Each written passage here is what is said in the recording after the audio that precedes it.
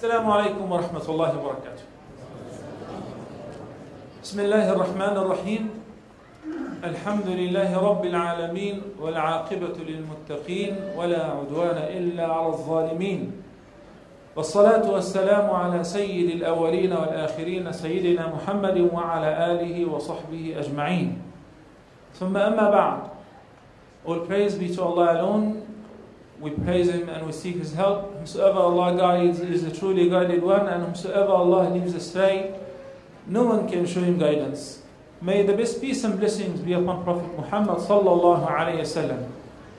Second of all, I would like to extend my gratitude to particularly the organizers and to all of you brothers and sisters. May Allah bless you all, and Allah bears witness that I'm very happy for being amongst us, amongst you right now, and I'm very happy and proud with the effort that I see in this society from the Muslim group who are living here. May Allah bless your effort. May Allah keep us all steadfast and remain steadfast on the straight path until we meet Him, inshallah.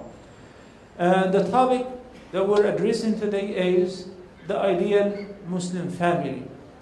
And this is indeed a topic or a subject which is the most important issue that a male or a female, young or old, a parent or a child is concerned with. And that's why should it be extended over a series of lectures and should be dealt with on a regular basis, not just in 25 minutes, but inshallah we will do our best to focus on what would really help us most to achieve our goal of having an ideal Muslim family. In order to achieve success, you have to look for success both in the Quran and in the Sunnah. We find in the Quran, the Prophet uh, in the Quran, Allah subhanahu wa ta'ala says in a verse approaching the end of Surah Al Imran. The verse says, أعوذ بالله من الشيطان الرجيم كل نفس ذائقة الموت وإنما توفون أجوركم يوم القيامة فمن زحزح عن النار وأدخل الجنة فقد فاز. وما الحياة الدنيا إلا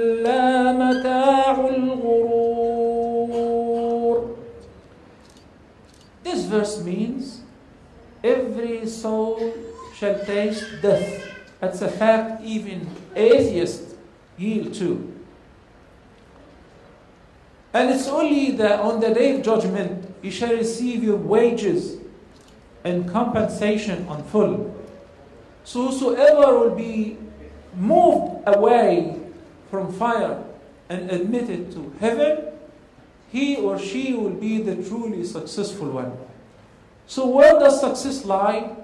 Success lies in being saved from the torment on the day of judgment, receiving salvation, and making it safely to heaven. This is the ultimate success. Why do we marry? Why do we establish a family? Why do we go to work every day? Why do we send our school, our, our children to the best schools? Why do you do all of that? These are all important questions which have to be preceded with a proper answer. Not after we achieve the goal. Because sometimes it's too late. You just marry because you saw a girl whom you love, or she's so pretty, or slim, or tall, or blue eyes, or blonde hair, and that's it. No, you have to formulate an intention before every and each act that we do. This is what our deen taught us. If it is a fact that everybody acknowledges, even non Muslims, non believers, which is every soul shall taste death. So, what would secure our continuation? What will make sure that even though you're dead, you still have roots here that will benefit you after your death? Then we will search in the Sunnah to find a beautiful hadith that's a sound hadith and collected by Imam Muslim. May Allah have mercy on him. In that hadith, the Prophet, peace be upon him, says, whenever the servant of Allah dies, all of his good deeds will come to an end. Will come to end except from three sources. One of them is a righteous child. The word walad in Arabic covers both the boy and the girl. Leaving behind a righteous child who will pray for you after your death. I have seen many, many Muslims who migrated from their Muslim lands, whether from Pakistan or India or Egypt or Saudi Arabia. And unfortunately, they achieved their worldly goals. Whether he was an MD or a lawyer or an engineer, they made plenty of wealth. They bought the house, they achieved the American dream. In America, for instance. But when you look and investigate their ahwal, their condition in the family, it is very, very unfortunate because the family is torn apart. What happened is, in order to achieve the dream, you get the entire package. Your children become exactly like the rest of the, the society, of the non Muslim society. They behave like them, they act like them, they speak like them, and they interact with others like them exactly. So, where are the Islamic teachings? What have you achieved with regards to your family members? I have only achieved one thing, which is worldly success. Basically, I made money. And this is it. Is this any kind of success? The ayah says by the end, وَمَا الْحَيَاةُ الدُّنْيَا إِلَّا مَتَاعُ الْغُرُورِ The entire worldly life and what it contains is a joy of deception. Some sort of illusion. Basically, if you're happy today, you cannot secure this happiness until the evening, let alone securing it until you die. If you're rich today, it is not guaranteed that you're going to live and die as rich. If you're healthy today, likewise, there is always a state of transition. So, what one needs to do is to seize the opportunity of his health, of his life, of his wealth, in order to build up an asset that will benefit him in this life and in the hereafter. Let me give you one example of how the righteousness of the family father extends to cover extends to cover the entire family members. There is one surah which you all recite every Friday. Surah what? Which surah is it? Huh? Uh, was I mistaken when I say you all recite on Friday? Surah Al-Kahf, right? Surah Al-Kahf. In it, there is a story of Moses and Al Khadr. Right? In one of the stages of their trip, they passed by a village. They asked them for water, for food. They denied. They did not give them anything. They were so stingy. So as they were resting, Prophet Musa salam said to Al Khadr, the righteous man who was inspiring him, Give me a hand. He said, What are you going to do? He said, We have to demolish this building and rebuild it again.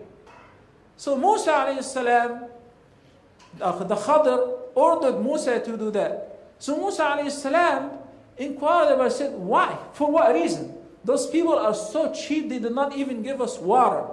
So why do we have to build anything for them? He said, just help me out and I will explain to you.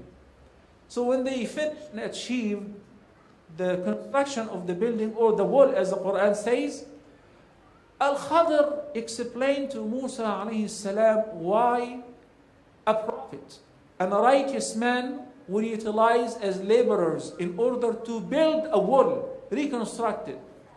He said, There is a treasure, there is a treasure that's buried beneath this wall. And it belongs to orphans. It belongs to orphans, to two orphans. And the wall was about and collapse. You can imagine if the treasure was exposed to such people, stingy people uh, of the, the village, the very cheap people, they would have devoured it. So Allah subhanahu wa ta'ala sent a prophet and a wali in order to rebuild it. But why? Allah subhanahu wa ta'ala could have saved it by any mean, could send any other person. He said, وَكَانَ أَبُوهُمَا صَالِحًا because their father was a righteous man. وَكَانَ أَبُوهُمَا صَالِحًا It did it. Their father was rich, and that's why there is a treasure. He did not say because the father was rich. It doesn't really matter whether he was rich or the most knowledgeable person. What mattered is their father was a righteous man. So his righteousness extended to cover his offspring. And for your surprise, the word Abuhuma does not refer directly to the immediate father. It was the seventh great great grandfather. So when one is righteous, Allah will protect him and his family. Does that mean we should recline and say, well, Alhamdulillah, I'm praying and I'm fasting, I'm going for tabligh and this is it, Allah will take care of my family? That's not fair. That you go out to give da'wah to others and at home is missing you. You're not making any effort in order to maintain the identity and the steadfastness of the iman of your family members. Remember the first call to Prophet Muhammad sallallahu alaihi wasallam to give da'wah to whom? Huh? Exactly. وَأَنذِرْ عَشِيرَتَكَ الْأَقْرَبِينَ Begin with your family. Begin with your family. They're more worthy with your da'wah than anybody else. Why would one extend his da'wah to the outside people and be very active and go for khuruj three days and 40 days or whatever, and at home his kids do not even pray? Huh? And whenever it's Ramadan, they do not recognize whether it has begun or ended because they don't fast. Why? Why would one give da'wah and teach others outside on Sunday classes while his wife and his children do not even know how to recite a single surah of the Quran? So one has to be fair and balanced and has to begin with his family members because في سورة التحريم in verse number 6 Allah subhanahu wa ta'ala revealed a very powerful verse. The verse says, يا أيها الذين آمنوا قوا أنفسكم وأهليكم نارا وقودها الناس والحجارة عليها ملائكة غلاظ شداد لا يعصون الله ما أمرهم ويفعلون ما يؤمرون. All who believe قوا أنفسكم وأهليكم نارا You need to protect Protect who and against what? Protect yourselves and ahlikum, your family members. Against what? Against a severe torment in fire. عليها ملائكة غلاظ شداد Allah describes the severe torment in fire, but what concerns us here, that the immediate divine command is to protect yourselves and your family members. And Nabi sallallahu alayhi wasallam took it very serious. And he started going to his daughters and knock on their doors one by one. And he goes to Fatima. Fatima is the leader of women in paradise. He knocks on her door and says, Ya Fatima! O Fatima, the daughter of Muhammad, work and work hard since I cannot avail you an art against Allah. Not because you are my daughter that you get a green card in heaven. No. You have to prove it yourself that you deserve it. And that's why peace be upon him, called on his son, we're running out of battery on this uh, mic. Good, so I can take a drink.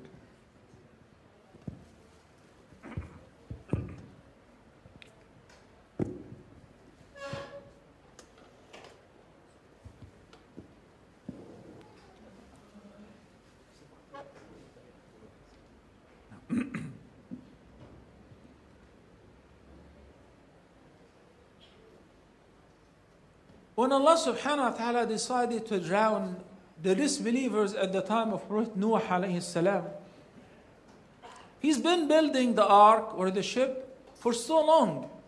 And now the water is gushing forth from everywhere and it's sending from heaven very heavy flood. So Noah alayhi salam was worried about one person. That person was his son.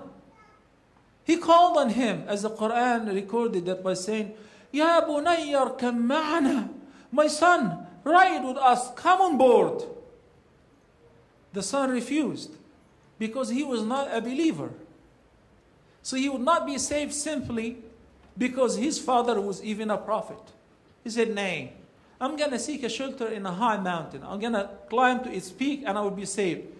The father, Nuh says to the son, You don't understand. It's not about a flood or a heavy rain. لا عاصم اليوم من أمر الله إلا من رحم. No one will be saved today from Allah's decree except those whom He have mercy on. Your only chance is to come on board with us. But he refused. And all of a sudden, وحال بينهما الموج فكان من المغرقين. So Nuh's son was drowned. When he was drowned, Nuh alayhi salam turned his face towards heaven and he started invoking Allah subhanahu wa ta'ala. He started begging Allah subhanahu wa ta'ala. He said, My Lord, my son, he's my son, he's one of my family members, have mercy on him. But since the sin was not just uh, drinking or hanging around with a girlfriend or not praying, none, that the sin was disbelief. So Allah the Almighty said, Nay, إنه ليس من أهلك. He's not of your family members anymore. Yes, you had ties in this life. He doesn't belong to you anymore.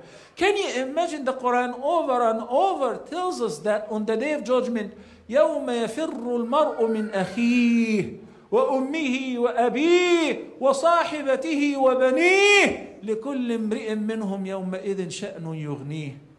On the day of judgment, everybody would be only concerned about himself or herself. Would run away and will denounce his brother, his parents, his own son, his wife. Every person would say, myself, myself, including the prophets, except for one. That is Prophet Muhammad sallallahu alayhi wasallam. Everybody will say, myself, myself. If a person on the day of judgment can offer as a sacrifice his own son in order to be saved so that he can save himself, he would not hesitate to do it. This is the condition on the day of judgment. Today, you're proud of sending your son to a Catholic school because it's a private school, a prestigious school, you get a degree, you get a job, and all of that. And they lose their deen. So you're investing in what will waste them. The money is wasted, and you wasted your children, and you will be asked. In the case of Prophet Nuh alayhi salam, he's not responsible for his son's misguidance because he can only do so much. He can only invest as long as they are under your guardianship. What does it mean? The Prophet sallallahu alaihi wasallam said, and this is a very interesting hadith. كلكم راع وكلكم مسؤول عن رعيته.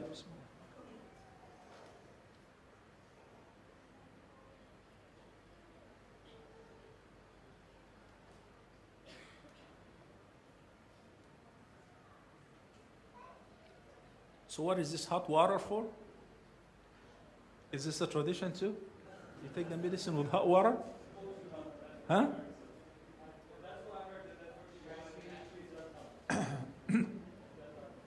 Jazakallah khair.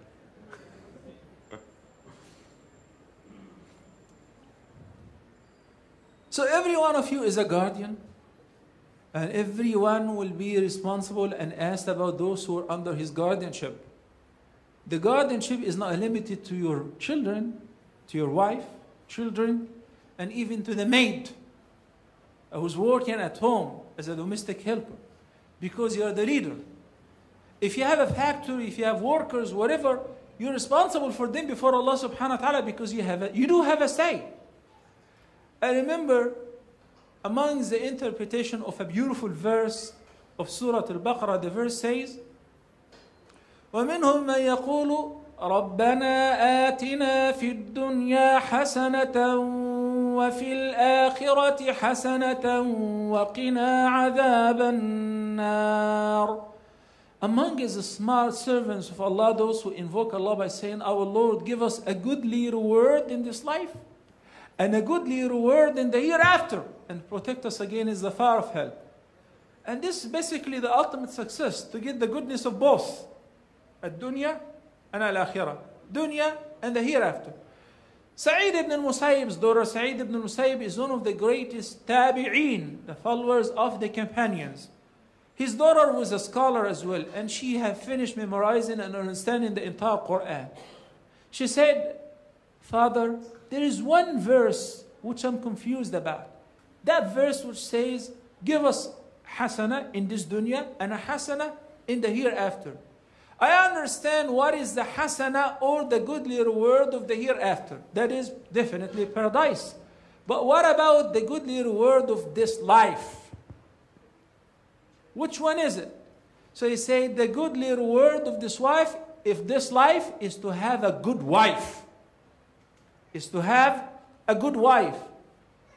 Subhanallah, it is so amazing that Islam is the only religion that tackled every aspect of life, whether related to deen or dunya.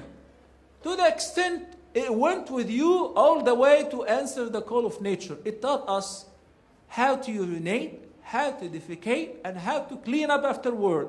It taught us how to have an intimate relationship with your partner, how to share bed with them, how, all of that. So it did not leave any area without explanation because Islam is a very comprehensive religion. And since it is the last wahy, then it should be so. It covered everything. So Nabi sallallahu alaihi wasallam did not leave us without guidance as how to have an ideal family. Look, for example, the Prophet sallallahu alaihi wasallam says, "May Allah have mercy on a man who gets up at night to pray." We're talking about the night prayer.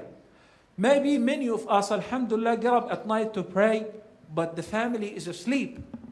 And in Ramadan, you say, you know, they have school or whatever, so let them sleep and you go and sleep and, and then pray and so on. And Nabi Sallallahu Alaihi wants us to involve the entire family members in such blessed activity. So he said, May Allah have mercy on a man who gets up at night to pray. Then he decides to awaken his wife or his spouse. So he asks her, honey, get up. Let's go and pray two rak'ahs, night prayer. She's so sleepy. So the Prophet ﷺ said, May Allah have mercy on him. He splashes some water on her face in order to awaken her. And he also said, May Allah have mercy on a woman who does the same. She wakes up to pray. So she wakes up her husband, and if he doesn't uh, uh, wake up, she splashes some water on his face.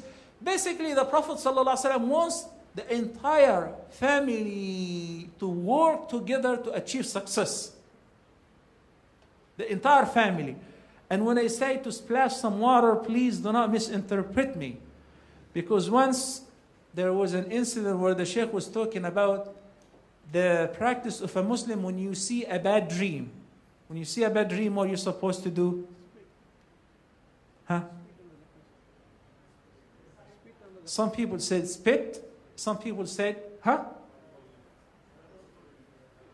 If, if you ever uh, eat a heavy meal, spicy one, then you go to sleep and you see bad dreams or a nightmare. What are you supposed to do? The Prophet ﷺ said, turn to your left side, turn to your left side, and itfil thalathan. Itfil means to blow without saliva, without mucus. So you do this. Okay? And you say, أعوذ بالله من الشيطان الرجيم. So one of the sisters was attending a halqa and heard this hadith. And uh, luckily, or unluckily, she have seen a bad dream. And immediately she turned to the left side where her husband was asleep. and she started showering him with mucus and saliva. He, uh, he woke up and he was so scared. What, what's wrong? Are you okay? She said, This is what the Sheikh said. Sheikh didn't say spit on your husband. and the hadith says, splash some water, so you wet your fingers and you do like this. You do not bring a bucket of water and you drown her. And they said, This is what the Sheikh said. The, the Egyptians say it. Now, the Egyptian Sheikh didn't say that. The Hadith doesn't say that. The Hadith is talking about cooperation in helping one another to achieve what's good and what's righteous. وَتَعَاوَنُوا عَلَى الْبِرِّ وَالتَّقْوَى So you awaken her, or she wakes you up, and you both pray even two rak'ahs. What is the significance of that? Significance of that is don't you be selfish. Don't try to save yourself. Involve your spouse with you in your dreams, in your goals. And very interesting story that it is worthy of mention in this occasion is that many, many times I get this question, especially from the sisters. Whom would a woman or a wife marry in heaven if she had multiple husbands in this life? And if a woman was married and her husband expired or divorced her, particularly if he died and she was widowed, then she married another person. And he too was righteous and he died. Then she married another person. I would advise her not to marry again. if that happened, and they were all righteous people, and she too was a righteous person, so on the day of judgment, they all made it to heaven. We understand that in heaven, if I was married, I would marry my wife in heaven as well, right? So the question is, whom would this woman marry in heaven? The first, the second, or the latest husband? So Nabi sallallahu alayhi wa said in one hadith, who knows first before I answer? Who knows the answer? Hmm? The latest. المرأة لآخر أزواجها في الجنة. The woman would marry her latest husband in dunya, would marry him in heaven. So if she was married to several before, once they died and she marries again, the relationship has been discontinued forever because now she's married somebody else. So listen to this very interesting story. There was a companion by the name Abu Darda, may Allah be pleased with him, and his wife. They loved each other so much that once they discussed together the hadith of the Prophet sallallahu alaihi wasallam, المرأة لآخر أزواجها في الجنة. المرأة لآخر أزواجها في الجنة. A woman would marry her latest husband. In dunya, she would marry him in heaven. So they made a deal that even if Abu Darda dies, that she would never marry afterward in order to be his wife in heaven as well. This is a sound incident, story. So Abu Darda eventually died before her, and she lived a long time afterward. To the extent that during the Khilafah of Muawiyah, and he was the leader of the believers, Amir al Mu'mineen, the Khalifa, he proposed to her. She was a great companion. So he asked for her hand. Look at the interesting reply. She sent, to, she sent back to him saying that, مثلك لا يرد. Such proposal should not be refused or turned down. You're a noble person. But I have promised Abu Darda to be his wife in heaven. To be his wife in heaven. I wanted to remain with him in heaven. So, what we need to do is if you love your spouse, if you love your children, if you love your offspring, you gotta know how to give them a hand, how to take them with you to paradise, how to shelter them from the torment and the anger of Allah subhanahu wa ta'ala in this life and in the hereafter. I don't really care if you die leaving behind tons of money, but leaving no deen. They don't know how to pray. They do not know of their deen, nothing. I met somebody whom we invited to the masjid, and I realized that he was born in Islam. He was born in Islam. So gradually we gave him da'wah, and him and his family and his brother and sister, they all started coming to the masjid. So later on, I said, since you started practicing the deen, have you ever thought to perform in Hajj? Now we are at the age of 50. He said, You know, Sheikh, that was not even in my wildest dream to think one day of going for Hajj. I thought this is odd, but now I'm ready to go. I want to tell you one thing. I was born and raised in a house that its door opened to the door of the masjid.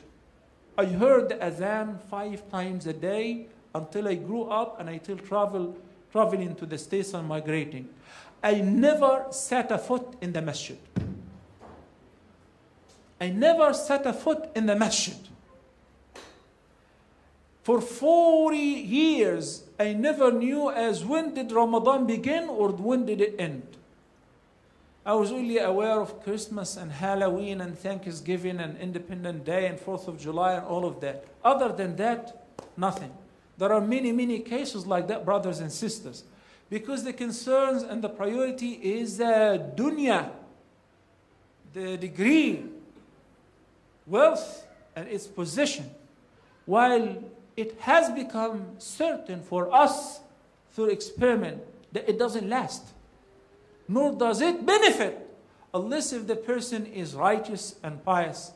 Only if the child is righteous. In the hadith of Muslim, he said, أَوَّلَدٍ صَالِحٍ يَدْعُ لَهُ or a righteous child, not any child, a righteous child. Because every time I make sujood, I remember that it was my dad who taught me the Quran. It was my dad who accompanied me to the masjid. It was my dad who taught me this and this and that. I pray for him. I, I pray for my grandfather. Every time I remember why. If I recite the Quran beautifully, it was my grandfather who taught me. If I uh, do anything properly, it was my parents, so I pray for them. One religious scholar at the time of his death was crying badly. My father in law witnessed this. And he asked him, um, or they asked him, Why are you crying? Would you please pay close attention to this? Why are you crying? Are you afraid of death? Alhamdulillah, you're a righteous man, you memorize the Quran, and you've done a lot of good things. He said, No. By Allah, I'm not afraid of death for myself. I just feel sorry that who is going to pray for my dad after my death?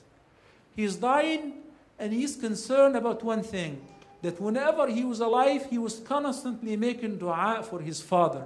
So he was worried that when I die, who's going to make dua? Not for me. He was worried about continuously making dua for his father. This concern doesn't come out of the blue. Doesn't happen all of a sudden. It only happens because the family father was concerned about pleasing Allah subhanahu wa ta'ala. So he made the right choice with regards to choosing his life mate. Similarly, the girl made the right choice with regards to choosing her final selection and choosing her life mate in the dunya and in the Jannah, inshaAllah Azza When they decided to have children, they knew exactly this is indeed the best investment. The best investment. Not because I'm a doctor, I would like my son to inherit the clinic, or because I'm practicing in any kind of trade or business, I want my children to inherit the wealth and continue the. No.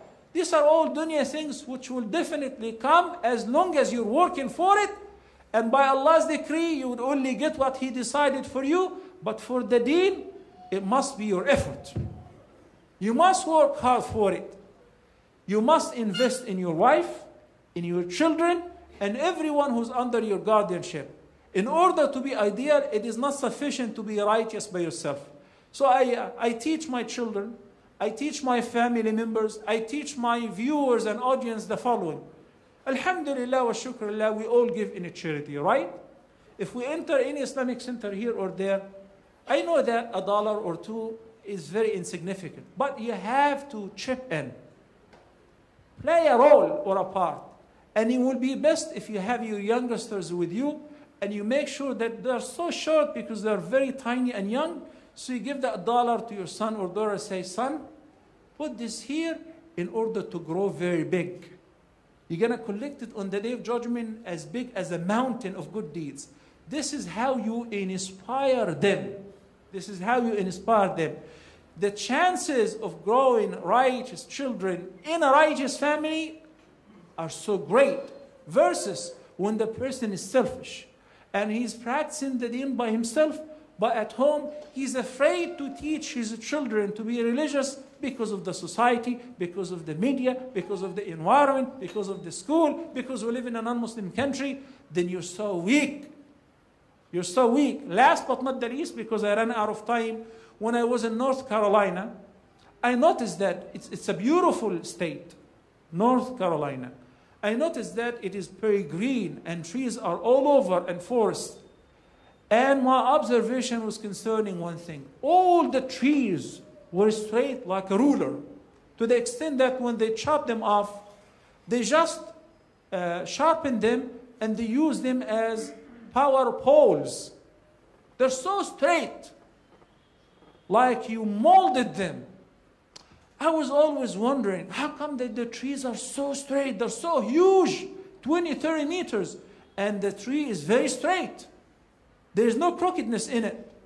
You can barely see any. Until I came to realize that the baby trees that they plant, the baby trees, and pay attention to this. They plant, when they plant a tree like that, they hook it up to four supports from four angles until it grows up strong and can stand on its own. That's why I said, you know what? That's why the trees are straight. Versus when we plant a tree, we do not really care whether it grows right or left or crooked as long as there is a tree. It's a very simple effort, very simple effort, but it produces a very fine result, a beautiful figure. So if you want to have an ideal family, you do not say it is too early to speak about it, or it's too early to tell my wife about hijab, or my daughter, or to teach my son the Quran. If it is too early, then it is too late. One person went to a scholar and said, uh, My wife is expected, and I just wanted to know what are the Islamic etiquette with regards to raising children in Islam. He said, It's too late.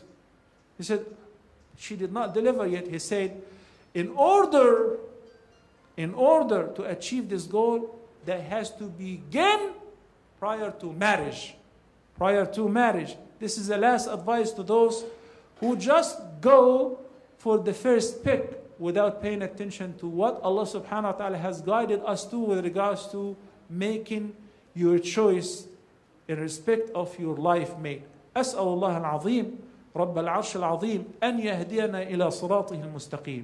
الدعاء, brothers and sisters, is the most powerful mean for guidance, for maintaining our deen and steadfastness, for maintaining an ideal family, because our effort could be in vain if we're not being assisted by Allah's help. And that's why by the end of Surah Al Furqan, the criterion, there is a beautiful dua that Allah taught us and He praised.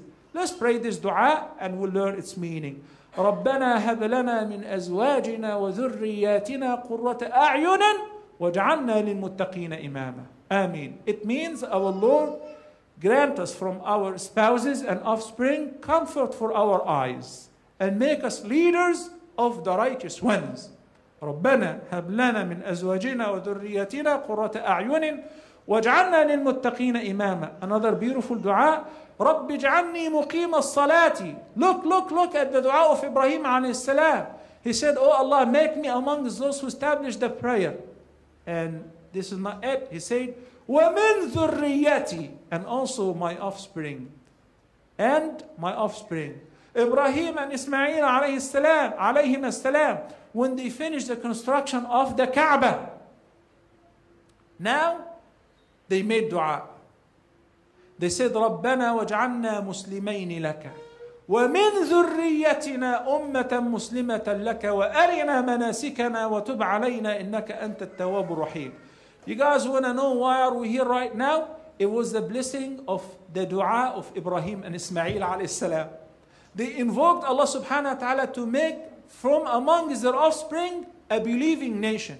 We are the fruit of this da'wah. So pray for yourselves, pray for your family members, your spouses, your children with guidance. May Allah subhanahu wa ta'ala accept. أقول قولي هذا وأستغفر الله لي ولكم وصلى الله على سيدنا محمد وعلى آله وصحبه وسلم.